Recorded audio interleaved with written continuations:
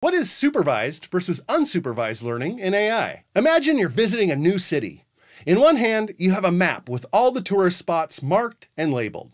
Now, in another scenario, you have no map at all. You just wander around, kind of exploring on your own. Using the labeled map is like supervised learning. You know place names and you can easily find them. Everything is marked and it tells you where to go. The map directs you, and you learn about the city with this simple guidance. Now, exploring without a map is like a machine in unsupervised learning.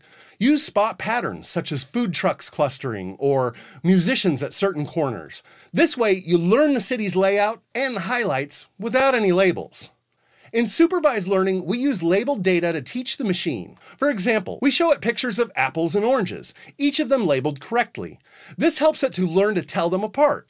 And it's similar to learning about a city with a helpful map. In unsupervised learning, we provide a machine with unlabeled data. Then it identifies patterns or groups independently. For example, it might categorize fruits by shape, grouping round ones together and separating oval ones, even without knowing their names. And this is like uncovering a city's secrets through exploration. Both methods are crucial. Sometimes we have labeled data and we can directly guide the machine. Other times, without labels, we're in search of hidden patterns and we let the machine learn on its own. Learning about these two methods helps us pick the best way to teach machines to solve problems. It's similar to choosing between a guided tour and exploring on your own. It all depends on how you want to engage with the data. So now you know the answer to